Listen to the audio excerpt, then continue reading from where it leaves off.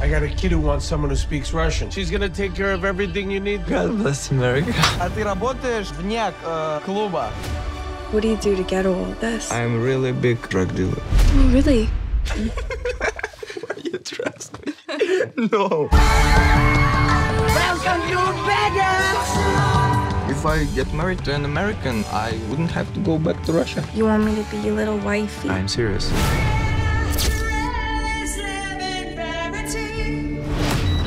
Что? Ты думаешь, себе можно вот так в мой дом ходить? Наткнулся на какой-то проститутке? This is not a real marriage. We're getting in an old.